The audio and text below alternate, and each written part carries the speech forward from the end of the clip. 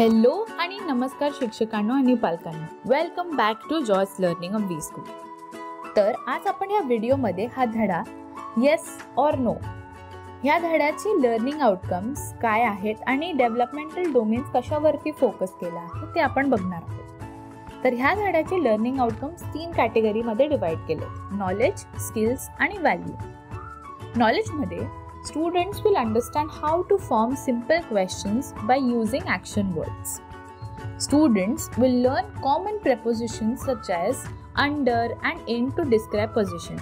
त्याच्यासाठी एक व्हिडिओ दिला आहे students will recognise daily activities like cooking going to school and doing homework त्यासोबतच स्किल्समध्ये students will be able to ask and answer meaningful question Students will practise completing sentences by choosing the correct word या दोन्ही स्किल्ससाठी वेगवेगळ्या activities दिल्या आहेत.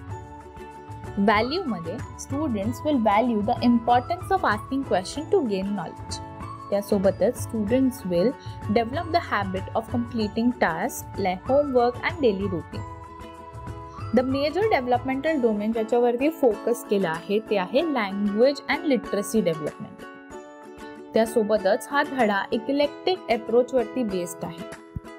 शेवटी एक tip आहे.